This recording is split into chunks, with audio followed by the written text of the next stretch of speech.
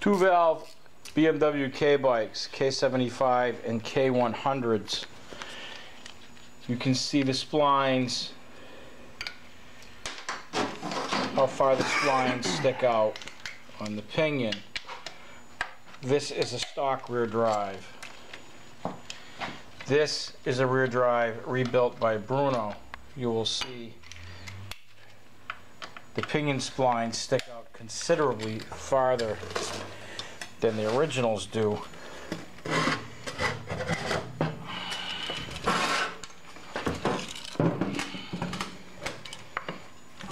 Comparison here between the two.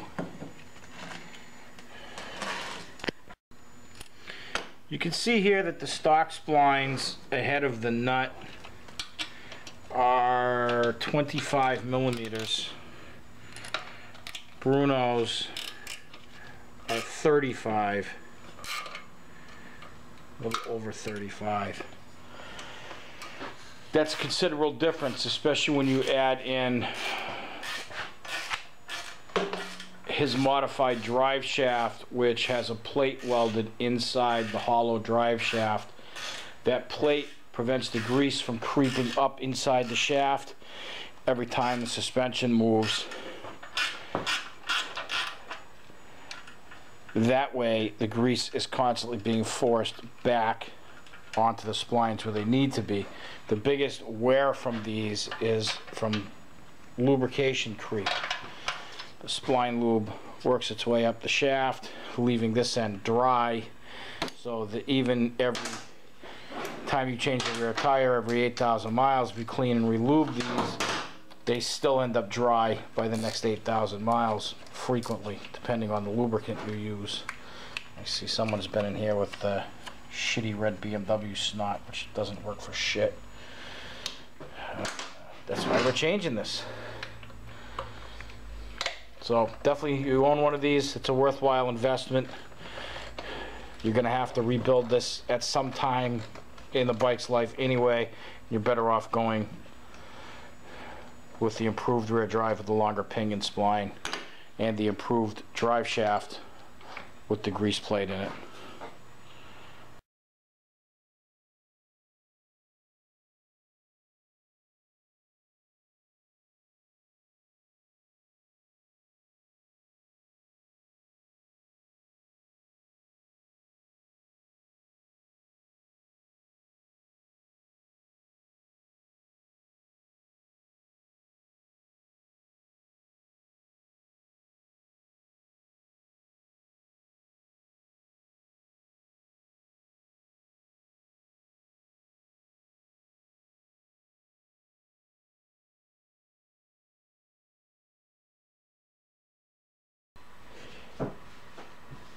I'm going to explain to you how to change the rear disc on your K75 slash K100. Obviously, if you have a drum rear brake model, this doesn't apply.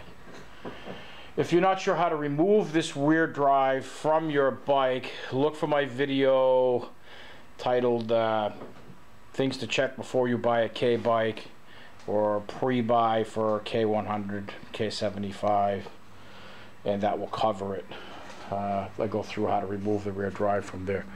This rear disc is held on with these two very, very shallow bolts.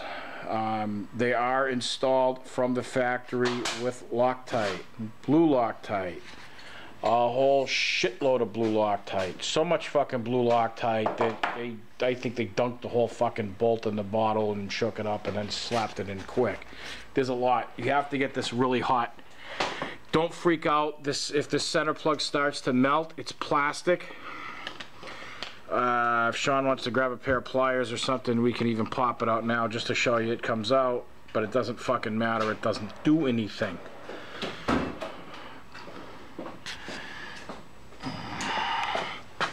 Kind of a grip it and rip it now in further. It's it's yeah, there you go. That's it. It's out. No big deal. That is, uh, you could use this rear drive if you had a five bolt rear wheel and put the center bolt in. Don't need it. It was never necessary. Uh, so here we go. MAPP gas is going to be the key to this whole fucking project. Uh, we need our infrared heat gun. We want these bolts to 260 degrees, 260 Fahrenheit.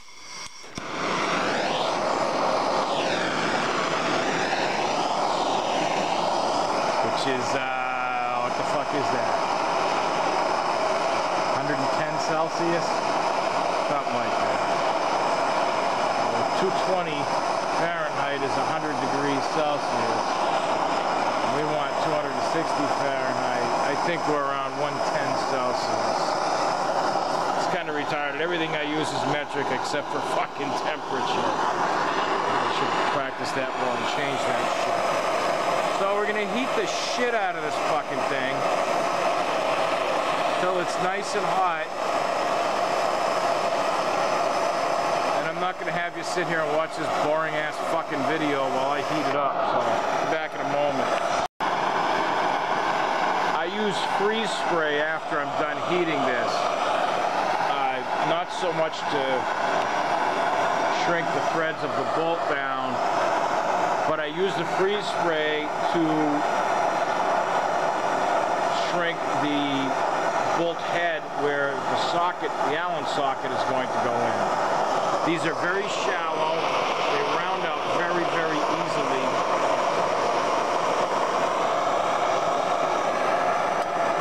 And while it's not a huge deal, if you strip one out, because you can drill them, they're a fucking pain in the ass to drill. And we're probably getting close now. We hear it going tink, tink, tink. Move down here for a moment. What do we have? 350. 350. Woohoo! I'm happy with that. Let's see what we get out of the bottom here now that everything's nice and hot. We have our, Sean's going to show you the impact driver we're going to use. The 6 millimeter socket, impact hand driver, and a hammer with some freaking weight to it.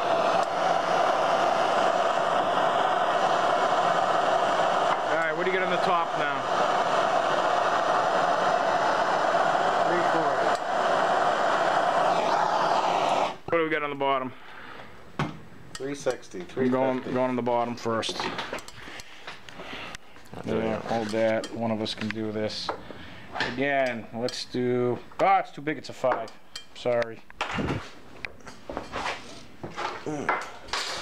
While we encounter some technical difficulties. Did I say six? I probably did because I'm a fucking tired fuck. Freeze that motherfucker.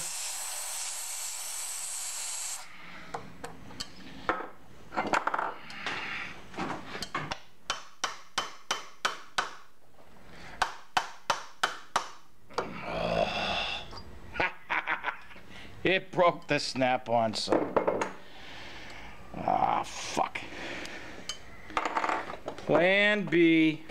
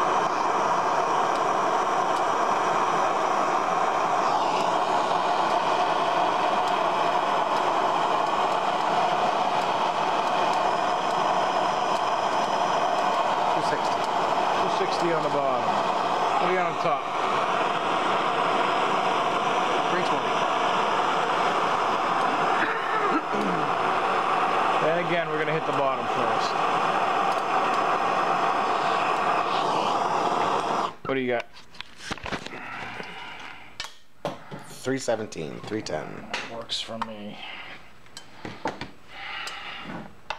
You have to tell me if it turns. I can't see. Nothing. Yep, nope, it's going. Uh, the Allen's going. I don't think the bolt is. Nah, we're fucked on that one. We're gonna be drilling it. Son of a beach temp at the top, freeze it.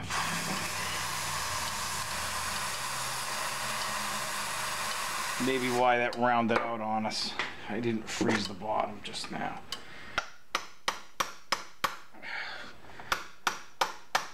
Something's spinning.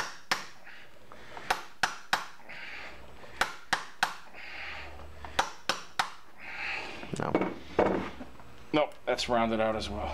All right, in this case, which does happen, if you notice how rusty and shitty these are, you know, we gave it the best, didn't fucking work. We're gonna have to drill the heads off. So, always best to have a spare set of these screws handy if you're not close to a BMW dealer. Um, buy them in advance. They're uh, four or five dollars a piece in 2013 money. It's worth having two.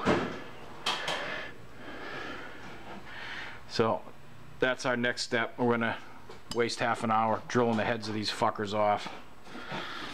Back shortly. If you independent guys, if you're doing this job for somebody else, here's a prime example of when you quote somebody for a job, you really need to explain to them, or you really need to know the bike or that model well enough to know what problems you can run into. This is a prime example.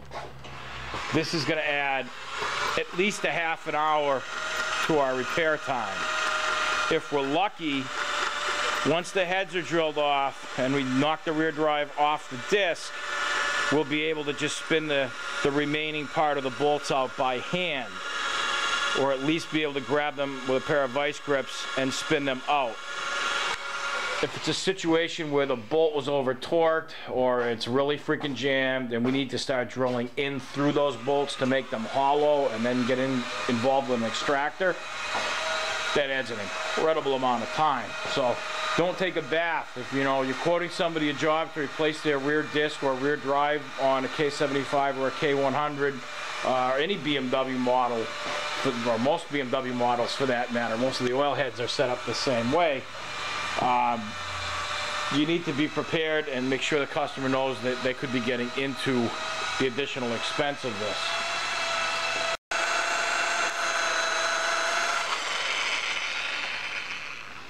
Yeah, you're getting there. Okay, mark the bottom. I don't know what these bolts look like, so Yeah, I'll pull one for you. Go ahead on the bottom. Go ahead on the bottom.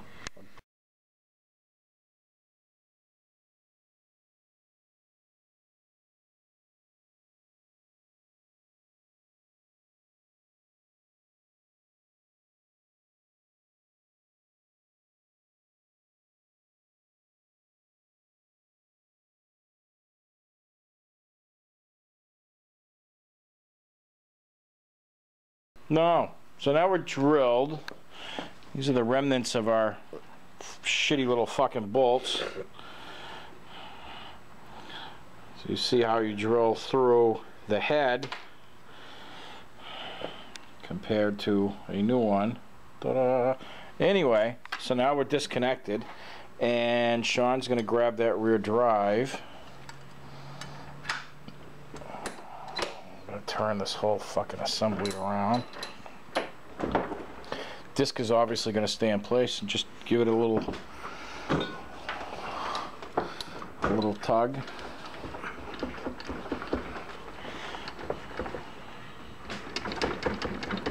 Not cooperating. It's not cooperating. Imagine that. what are the odds? Pretty good. when in doubt, get the BFRH, the big fucking rubber hammer. Ta-da! Now, don't dip, dip, puking everywhere. Over to the drain bucket with you. Flip that pig upside down so it drains out the speedometer pickup hole.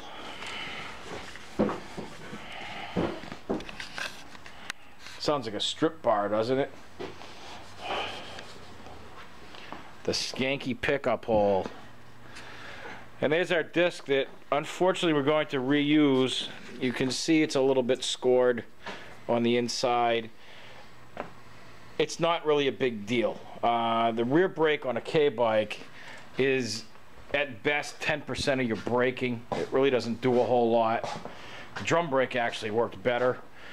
Uh, most of your braking comes from the front, so we're not going to sweat about replacing the disc. Customers into a big chunk of change as it is doing this rear drive and drive shaft and tire at the moment. We have our nice rebuilt longer splined rear drive.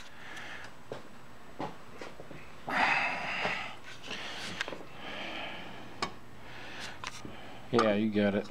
That's it. Pretty close on that. That's fucking dead nuts.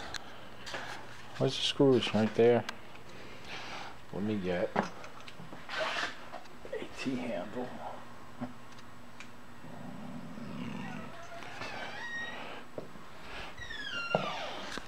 Not as easy as I thought. I dropped the T-handle behind my toolbox. And I'm too fucking lazy to go fishing for it right now.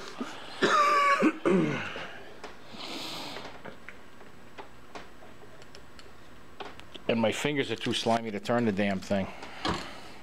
Hey, there you go. Some shit like that.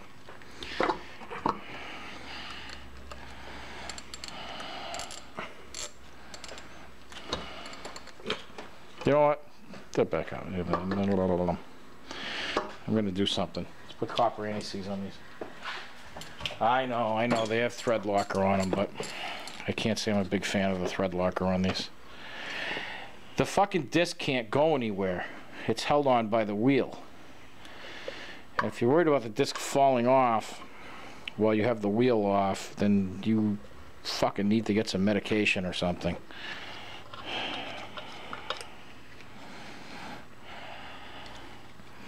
There.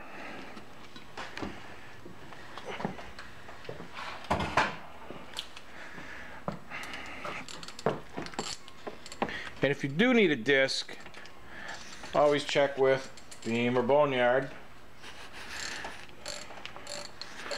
If you're looking for a used disc, new discs are stupid money from BMW and absolutely not worth buying. There are aftermarket alternatives. Sean brought up a good question. He asked if we were torquing these, and I said no. Um, as I said, the wheel actually holds this disc on. You really don't even need these fucking bolts. The bolts are only there so that when you take the rear wheel off, the disc doesn't fall off too.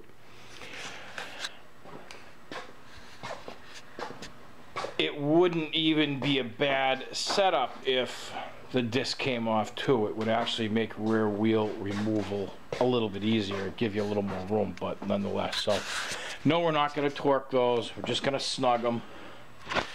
And that's it. And again, notice we have the much longer pinion spline. It's an incredible improvement. And and we're good to go and ready to install this onto the bike after we change the drive shaft. Frankly, I'm gonna want to do the K12. Yeah. At this point, we want to take a piece of leather because we are going to remove the drive shaft now. So you take a piece of leather, you take a punch. What you're doing is going through here and catching the knuckle of the drive shaft yoke just like that. Now, I probably can't catch this on video. We're good to put the camera. But I'm gonna give this, uh, that's probably too much. Yeah, maybe that'll work. Keep pressure on this to here, and we're gonna give this a good, quick, sharp wrap. And as you see, our drive shaft is ready to come out We can remove this such and now the shaft will come off now the reason we are changing this shaft is because you'll see in a moment how worn out these spline teeth are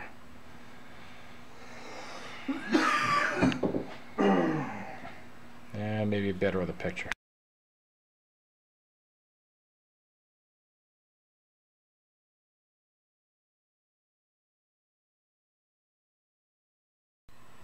While you're this deep into the bike, this is your gear indicator. Usually on a K-bike, they're trouble-free. This is your clutch arm boot. Clutch arm accordion boot. Check that for leaks. It's expensive. It's uh, shit, 30 or 40 dollars now. Again, 2013 prices. They do dry out, they do rot, they do leak. This one is not leaking. We're going to leave that one alone. Uh, fairly straightforward to change it. Unfortunately, I can't show you at this point because this one does not need to be replaced. So we're not going to mess with it. We're not going to mess with rear brake pads because these are fairly fresh. And we're reusing the other disc. We are replacing the drive shaft. Oh, oh, you can see how notchy that fucking U-joint is.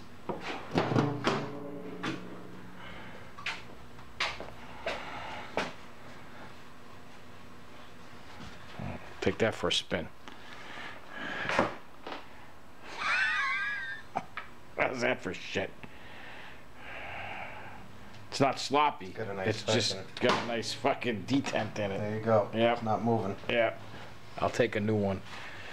All right, here's what I'm talking about. You can tell here how notchy that is. This one moves nicely side to side, no problems. If you could see down here, and I'll take pictures, this shaft is hollow. So here's some photos.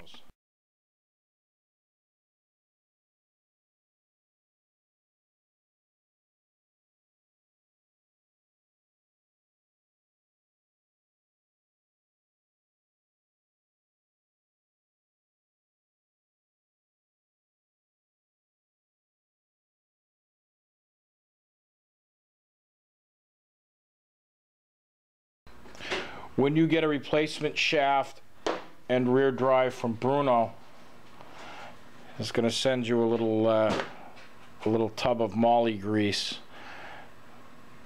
This is very similar to Honda Moly. And again, I don't support using this shit on your clutch splines. I absolutely do support using it on drive shaft splines. I find this stuff just a little too thin for clutch hub splines. And if you're real careful, it's okay, but people tend to go frickin' nutty and just put too much shit on it. So Sean's gonna hit, hit our output shaft splines, give those a good coat. We're gonna put this drive shaft back in, locked into place. I also wanna point out, the factory U-joints are staked. This is a non BMW claims this is a non-serviceable drive shaft. When you need a U-joint, fuck you, go buy a new shaft. $700, whatever they are. Bruno rebuilds these with clips, so you can replace the U-joint. Very nice improvement.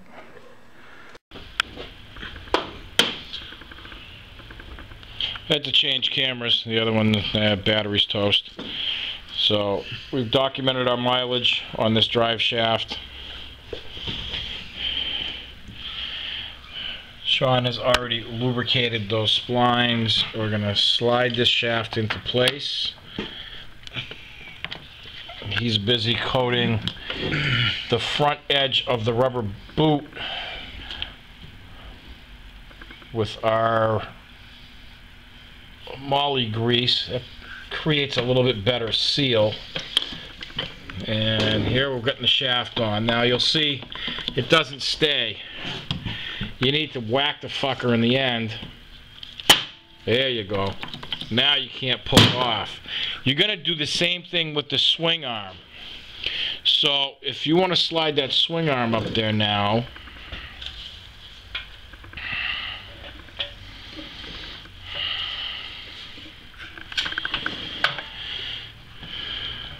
what you do with this is once you get it into position, you push it forward. Now, if you pull it back, I mean, you're not going to grip it and rip it, but you're going to be able to rock it back and forth. It's going to stop. That's the accordion boot going through its full range of motion. So you had a good seal. If you could slide this all the way off again, then the fucking boot didn't seat properly and you got to fiddle fuck around and get it into position and give it another smack.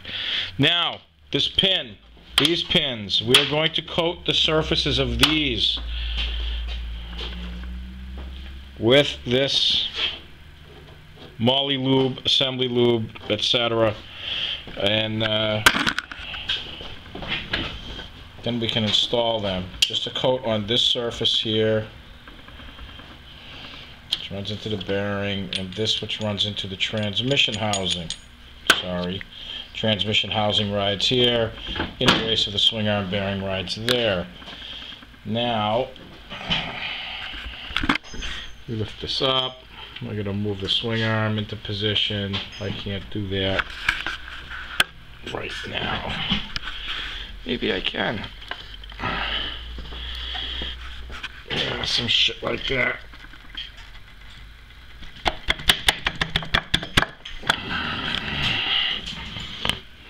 Not. Take care of this pin, which is going on the other side. And I've said it before, but if you're new to my videos, no fucking Loctite on these. BMW put them on at the factory, put Loctite on them at the factory. You do not use them anymore. No Loctite on those.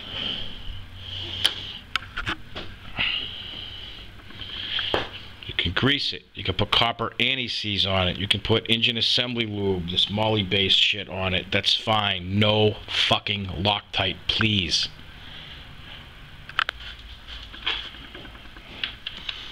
fucker needed a little attitude adjustment there. So that's there. You have three gold colored screws that go into this Is this fives sixes? pin. Uh, the center pin on your side Yours. is a six. These are fives. These have an incredibly low torque of eight, seven or eight newton meters. I think it's eight to ten. Yeah, let's make it eight.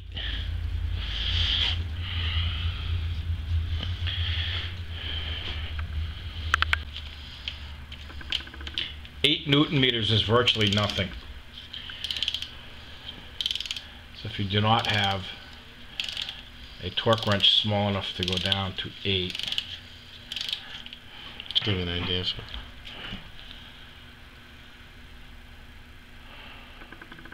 That's it. So you got what? 30 degrees? 30 degrees of movement. Once it stops.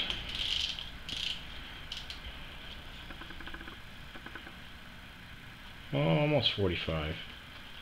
We'll call it 40. Or we'll call it buy a fucking torque wrench.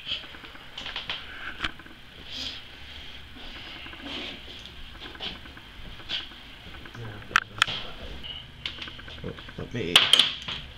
unlike the later bikes with the paralevers, this pin is set a little bit different. I am adamant about explaining to people that on a paralever you need to torque the center pin to 10 newton meters. This one is different. This one gets torqued to 8 newton meters max. 7 to 8. And now we have an issue of, you see the nut is running against the transmission. We have to move that nut back further. So we get a little more work to do to free this up. The punchiness has set in. Um, all you need to do to free up this pin is, do you want to lift that? Lift the wrench. And that's all. Now it's free. So now you can take the wrench off. We just wanted to back that nut out enough so that I can torque the center pin to the proper setting, which is here, 8 newton meters. Now comes the semi-complicated part. Now you have to tighten this nut to 40, 40. 40 newton meters, but you can't, you don't want to turn the center because that would make the center pin tighter, which would put more pressure on the swing arm. So you have to take a shitty socket, like a Sears Craftsman, grind a big freaking chunk out of it, as we have. Set your torque wrench to 40. Get in here with an Allen wrench to hold the center, like we are doing. Bad position for me to start at, fucking asshole. There you go. And we're gonna go round and round a few freaking times.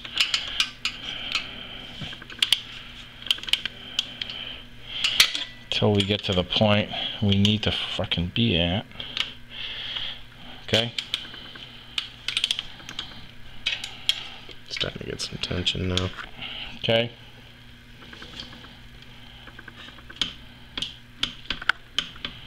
Then that's good. Now this pin is properly torqued. Our next step, well, if you're doing this yourself, your next step could be either installation of the foot peg plates, or if you want a little more room, you can put the new rear drive on, or your old rear drive, or whatever you're doing. We're going to use a lot of this moly lube. Pack it in here good on the splines.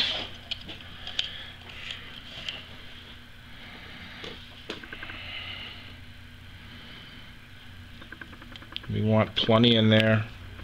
Can't go anywhere.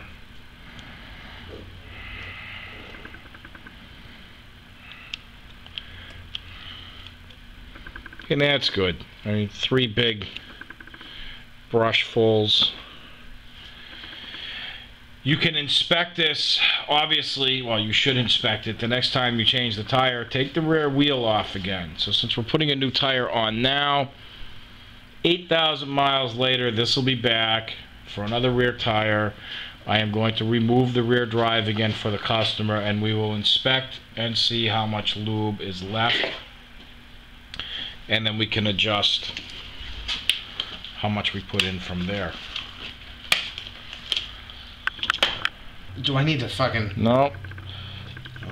So you have the rear drive. This one does not get indexed, phased, or any of that. You're just gonna line up the rear drive, splines, and slide her on home. There's nothing in between the swing arm and the rear face of the rear drive in the pinion area. That's it. You're gonna use these bolts with copper anti-seize on them, which is not here right now. I'll go get that. And as you see, the shop is a fucking disaster from this fucking lingering K1200 LT project. It's just mind boggling. Hopefully, tomorrow that thing will be back together and on the road. But today, today we had a bunch of little jobs to do, this being one of them. So you're going to screw all four of these swing arm to rear drive screws in. You are going to, shit, lift that rear drive up. There we go. Whackety whack whack. That'll go with a little love tap. There you go. That's much easier than holding it. You're gonna put a little bit of copper schmuck on the end there. This needs to go on the other side over to here. And we're gonna sip that fucker off in a second as soon as I get my cutters.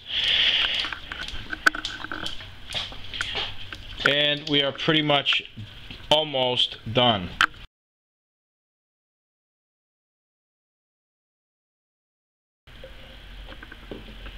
I'll point out a few things that you do not want to forget at this stage, and then we'll leave it because you really don't need to see how to put the fucking rear tire on and shit. Don't forget to fill the rear drive. If you're buying a rear drive, used from elsewhere or a rebuilt one, always remove the drain plug and retorque it. Put a new crush seal on it if it looks like shit. Remove the fill plug. This rear drive takes 260 cc's. I use synthetic 75 W140 GL5 lube. You can use whatever freaking weight you want, but it needs to be GL5 approved, not GL1 lube. Um, this little screw holds that in, does not get torqued to virtually anything. Four, I think, four newton meters. Uh, this shock bolt is going to be 45 shock nut sorry 45 newton meters. Your caliper bolts are 30 newton meters. Your four rear wheel studs these get torqued to 105 newton meters. Your foot peg plates are going to be 18 newton meters. Three bolts each. These are kind of irrelevant here and again here 18 newton meters 18 18 make sure you get the ground if you have an ABS equipped bike. Ground needs to go under the foot peg plate. And I don't think there's anything else I can show you so I'm not going to waste the time screwing around wasting another fucking 10 minutes of putting this rest of this back together. Uh, new tire balanced, ready to go. And you need the caliper up in the air like asshole. Up in the air like such when you slide the wheel in. Be careful you don't drag the rim against the sharp edges of the ABS ring gear. It's not really a gear, it's a sensor. Uh, that's that's all I got for you. So it's an easy enough job to do. Like I said, the biggest difficulty we ran into here was the issue of the seized, fucked up brake disc bolts. Fortunately, we were able to drill those out and move along. And overall, fuck did we start on this? 430? With interruptions.